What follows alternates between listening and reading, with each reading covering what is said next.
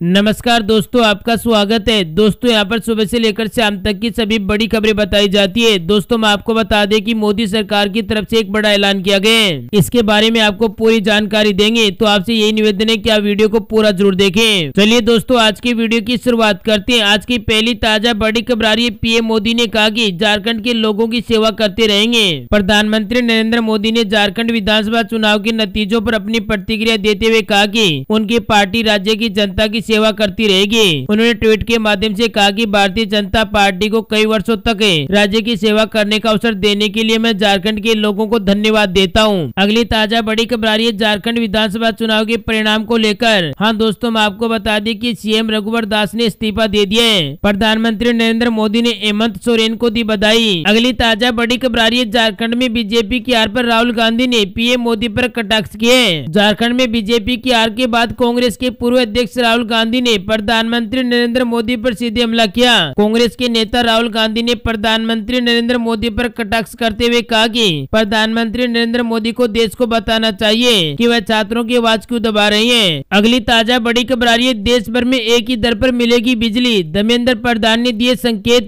केंद्रीय मंत्री धर्मेंद्र प्रधान ने देश भर में इलेक्ट्रोसिटी वितरण को लेकर एक बड़ा बयान दिया है। केंद्र सरकार में पेट्रोलियम एवं प्राकृतिक गैस मंत्री धर्मेंद्र प्रधान ने अपने बयान में कहा कि जल्दी इलेक्ट्रोसिटी एक्ट में संशोधन किया जाएगा। सरकार एक ऐसे प्लान पर काम कर रही है, जिससे सभी राज्यों में बिजली की दरें एक समान होगी। धर्मेंद्र प्रधान ने कहा कि इलेक्ट्रोसिटी एक्ट 2003 को संशोधित किया जाएगा। केंद्र सरकार इस बात पर विचार कर रही है। देश भर में बिजली के लिए एक ही टेरिफ लागू किया जाएगा। अगर केंद्र सरकार ऐसी कोई व्यवस्था लाती है तो सभी राज्यों की बिजली की दर एक समान होगी। अगली ताज़ा बड़ी खबर रही है सोनिया गांधी ने जब से संभाली कमान, कांग्रेस के प्रदर्शन में दिखा शानदार उछाल।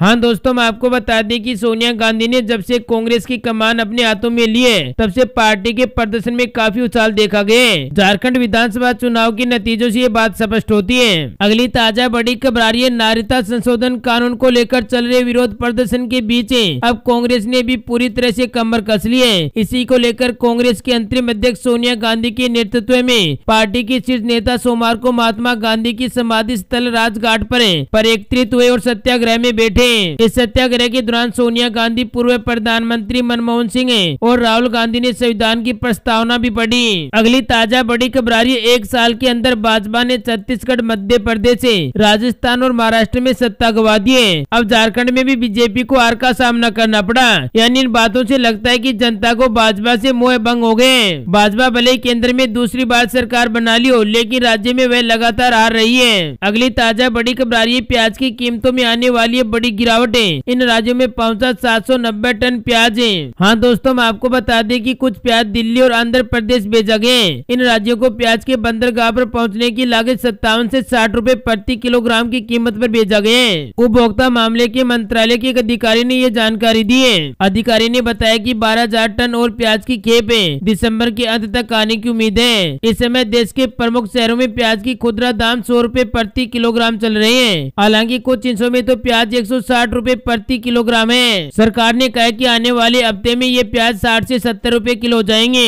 अगली ताज़ा बड़ी खबर आ रही है झारखंड चुनाव परिणाम को लेकर बीजेपी के आर पर बोले अमित शाह, हम जनादेश का सम्मान करते हैं। चुनाव परिणाम आने के बाद झारखंड में जेएमएम के कार्यकारी अध्यक्ष हेमंत सोरेन का मुख्यमंत्री बनना तय माना जा रहा है। वही केंद्रीय गृह मंत्री और बीजेपी के राष्ट्रीय अध्यक्ष अमित शाह ने कहा की हम झारखण्ड की जनता द्वारा दिए गए जनादेश का सम्मान करते हैं। भाजपा को पाँच वर्षो तक प्रदेश की सेवा करने का जो मौका दिया गया था, उसके लिए हम जनता का हृदय से आभार व्यक्त करते हैं। अगर दोस्तों हमारे द्वारा दी गई जानकारी आपको पसंद आती है तो आप एक बार वीडियो को लाइक करें और अपने दोस्तों के साथ ज़्यादा से ज़्यादा वीडियो को शेयर करें और चैनल को सब्सक्राइब ज़रूर कर लें। अगली ताज़ा बड़ी खबर आ रही है बीजेपी ने एक वीडियो जारी किया है। इस वीडियो से आप संशोधित नागरिकता कानून का भ्रम दूर कर सकते हैं। संशोधित नागरिकता कानून से जुड़े भ्रम को दूर करने के लिए बीजेपी ने एक वीडियो जारी किया है। इस वीडियो को पार्टी के ट्विटर हैंडल में जारी किया गया है। इस वीडियो के ज़रिए देश के सभी लोगों ऐसी अपील की गई है की पहले खुद नागरिकता संशोधन अधिनियम को समझे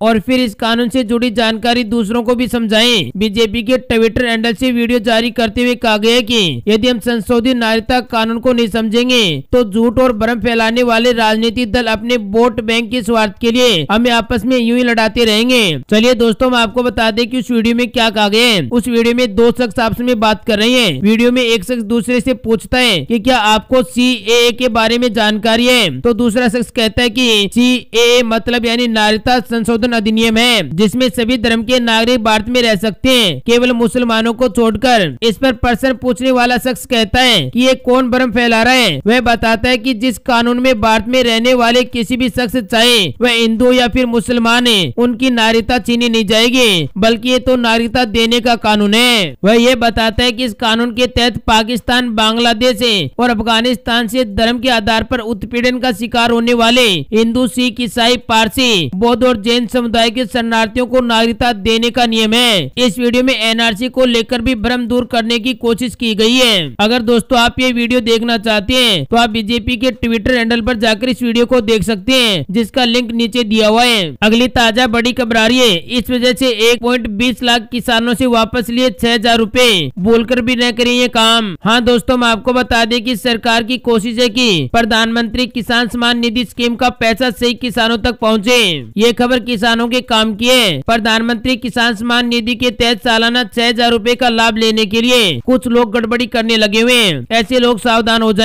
मोदी सरकार उन लोगों पर सख्त हो गई है जिन्होंने ऐसा किया। सरकार ने ऐसे एक लाख उन्नीस हज़ार सात सौ तियालीस लोगों के हाल ही में पैसा वापस ले लिया है। लाभार्थियों के नाम एवं उनके बैंक खातों के दिए गए रिकॉर्ड में नहीं खा रहे थे। मतलब साफ़ है की बैंक अकाउंट और खेत के मालिक के नाम के बीच अंतर पाया गया। इसलिए पैसा वापस ले लिया गया कृषि मंत्रालय के सूत्रों का कहना है कि इन अकाउंट में बिना वेरिफिकेशन पैसा जमा हो गया था। इस स्कीम का पैसा केंद्र सरकार के खाते से किसान के बैंक अकाउंट में सीधे नहीं जा रहा है। केंद्र सरकार राज्य के अकाउंट में पैसा भेजती है, फिर उस अकाउंट से किसानों तक पैसा पहुँचाया जाता है। सूत्रों का कहना है कि वेरिफिकेशन करने से पहले ही एक लाख उन्नीस हज़ार बैंक अकाउंट यानी दो हज़ार रूपए की किस्त जमा हो गई थी। लेकिन जब डाटा का वेरिफिकेशन शुरू हुआ तो गलती पकड़ में आने लगी। सरकार की कोशिश है की स्कीम का पैसा सही किसानों तक पहुँचे।